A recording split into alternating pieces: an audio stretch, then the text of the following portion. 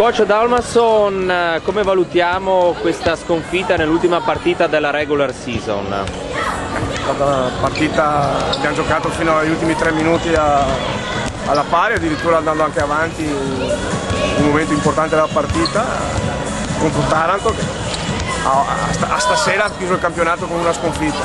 Quindi bisogna anche sempre considerare. D'altro canto noi non ci siamo purtroppo presentati con la formazione al completo, ulteriore dimostrazione della qualità secondo me, della difficoltà della partita, i ragazzi hanno comunque dimostrato grande, grande energia, grande voglia di, di, di, stare in partita, di, contrastare con ogni, con ogni arma Taranto.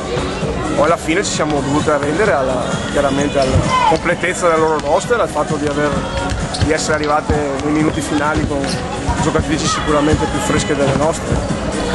In prospettiva come si iniziano invece questi playoff?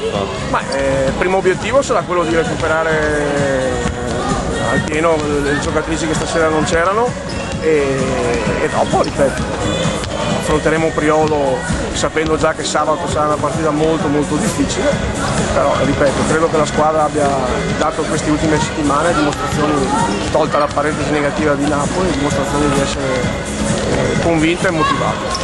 Ecco, eh, prestazioni che forse sono un po' altalenanti, eh, potrebbero condizionare in partite ravvicinate come i playoff?